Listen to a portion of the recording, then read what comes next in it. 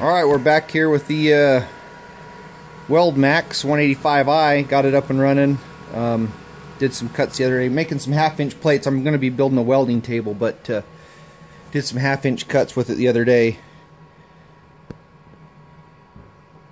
Not too bad. I didn't have the amperage cranked up all the way on it. I was cutting that half inch stuff, you know, up in about here, 30, 32, 37. Um, this next project I got right here, I'm going to show you guys, is I'm making a circle.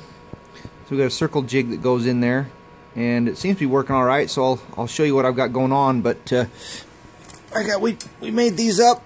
I see a little pointy thing there, or you can flip it around, punch a quarter inch hole in whatever you're doing, and put it in that way. Just a collar that goes around here and spins um, freely on there. And uh, the other one we got is like kind of like the ones you can buy. Got the phone don't focus. Got the wheels on it that spin and it fits right right down in there. And then the you know that rod will go you know like so. And I mean that one you can pull off and that one you can pull off and trace a line or or butt those wheels right up against some flat stock and then the other piece we got for it's magnet. Magnet down. Oops. That'll magnet down and then that just sits down in the magnet. And that rod will that rod will spin around the magnet right there. So I think the other thing I'm going to do is uh, build a little quarter inch uh, something similar to this quarter inch with just a little center punch thing on it that uh, you can you know slide it through the magnet and locate it on the center of a hole and then set the magnet down right center on something and then it'll stick then you can pull that out put that piece back in it and uh, you know go out go about your business plasma cutting. But uh, let me turn this on and and uh, finish going through this thing or at least a little bit further and we'll go to there. Alright let's try this out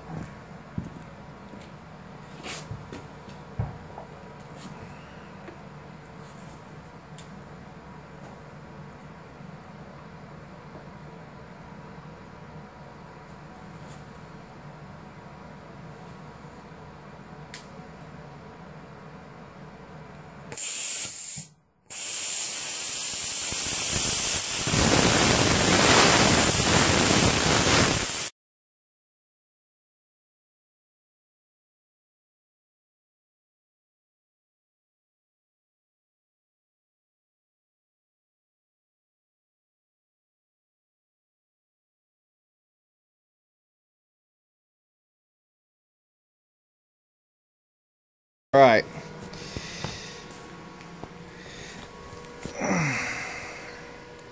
This is uh, like the second time only using a plasma cutter, so I got to work on my speeds. But uh, perfect circle knocked out of there. And this other side is, uh, do this, I'll probably burn myself, but I'll show you. Just knocking off there. Bunch of divots cut through there. You see, we got the dross and that that comes through. We'll knock that off and sand it down, but.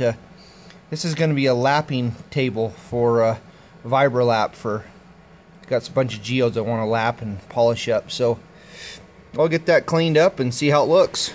And there you got it.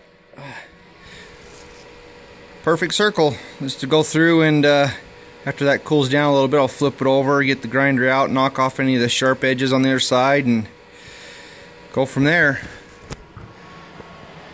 Seems to work pretty good. Next project I'll be starting here uh, a couple weeks down the road will be a big welding table, half inch thick plate, uh, four foot by five foot, maybe three foot by five foot. I haven't decided yet. Oh, this came in the mail the other day. 25 foot welding 220 power cable, so I'm not tied to just right here. I can move this around my garage a little easier. Okay, thanks for watching.